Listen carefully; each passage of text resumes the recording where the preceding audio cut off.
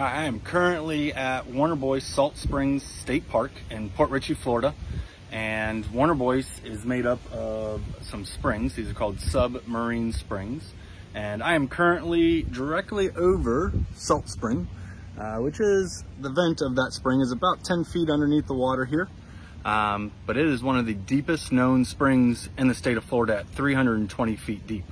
But to understand these springs and really appreciate them more, you got to know a little bit more about Florida's past. So how have we changed?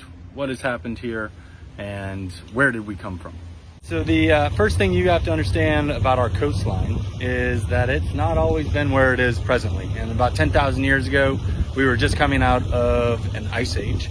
Um, and our coastline was about 60 miles offshore. The Florida landmass was twice as large as what it is presently today. Another really cool fact about Florida is that Florida's not always been attached to North America. Uh, at one time we were attached as a shallow coral sea to Africa. All right, let's take a journey on Florida's geological past. To understand where Florida has been and how its coastline has been affected, we have to look at plate tectonics, things like glacier and interglacier periods, the theory of continental drift was first proposed by Alfred Wegener in 1912, just over 100 years ago.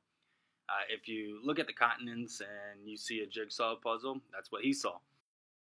Wegener was a meteorologist, and the geology community widely uh, criticized and rejected his theory.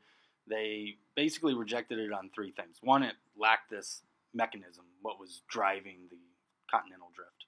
Uh, he didn't have a fossil or chemical records or evidence to go along with it.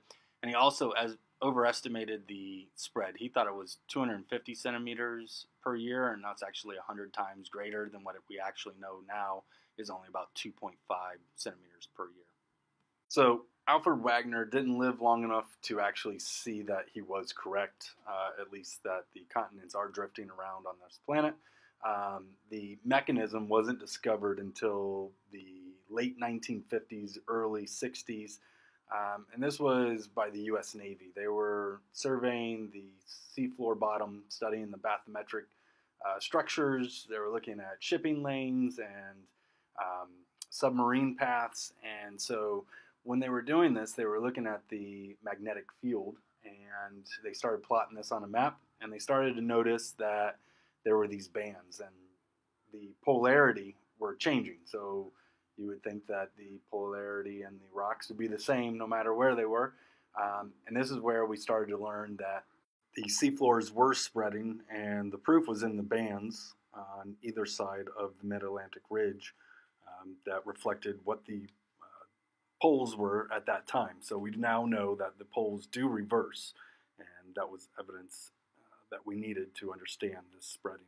If we look at the geosphere, it's basically made up of five different layers. On the outer layer where we live, uh, this is called the lithosphere, and this is the crust of the Earth. And we have oceanic plates and continental plates. The oceanic plates are a little thinner, and the continental plates are a little bit larger and thicker. Uh, directly below that is the asthenosphere, and this is a semi-plastic material. Uh, allows those continental plates to ride on it and kind of move. Uh, below that, you have the mantle, and this is the material that is being uh, recycled from the crusts uh, in subduction zones and then coming back up through these mid Atlantic ridges and other places on Earth where we have these plate boundaries. So we basically have two different types of plates. We've got continental plates and we have ocean plates. And uh, this is an example of a plate boundary. We've got three different types. This is a divergent plate that we would see along the ridges uh, where the plates are moving away from each other uh, with that magma coming up and solidifying.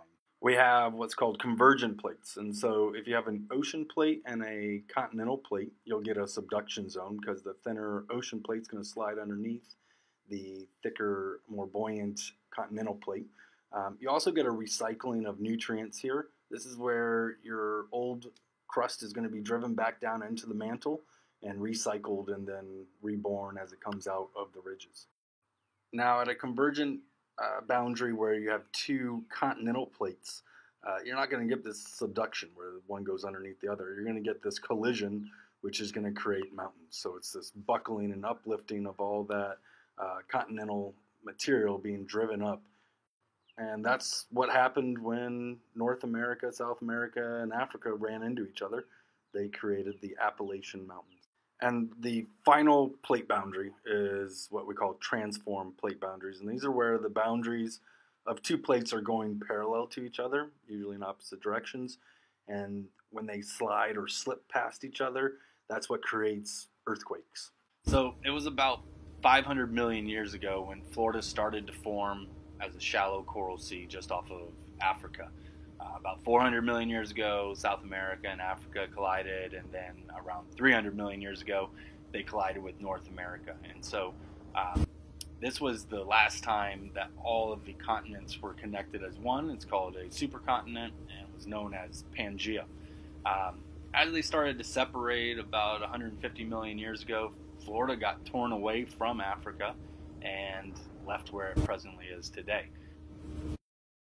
So Florida is still submerged underwater after this separation. Um, we're basically this calcium carbonate platform uh, which you can see in the illustration here. And it really takes the erosion of the Appalachian Mountains, these mountains that were formed 300 million years ago and have now been going through erosion processes for about 150 million years. All those rivers are carrying sediment that is eroding away from that uh, mountain chain, and they're depositing it on this calcium carbonate platform. And so you start to get this layering. And this is really important when we start to talk about the aquifer because these are the confining layers. Uh, the clays, the silts, the sands that migrated here, they're covering that calcium carbonate.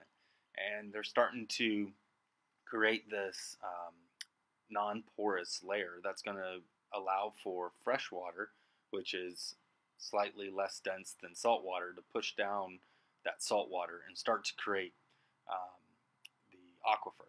And so the landmass starts to go through some changes with glacier periods. We've got interglacier and cooling and warming periods, and then eventually uh, Orange Island appears, and the backbone of Florida starts to get filled in with all this eroded material. And then we have a uh, ice age about 2.5 million years ago to a, about 10,000 years ago, and Florida was gigantic. And it took about until about 30 million years ago for Florida to emerge as a landmass. And so over those millions and millions of years, corals, polyps, the uh, crustaceans, the different exoskeletons, bones of fish, they all littered down to the bottom of the ocean and then they got compressed into a sedimentary rock called limestone.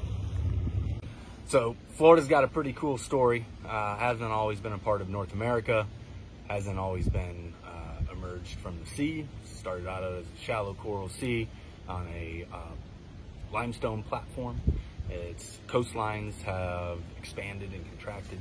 Um, so it's ever changing. And next time, I hope you join me. We're going to dive into some of these springs here along Florida's spring coast and see what amazing uh, journeys we can find with these guys.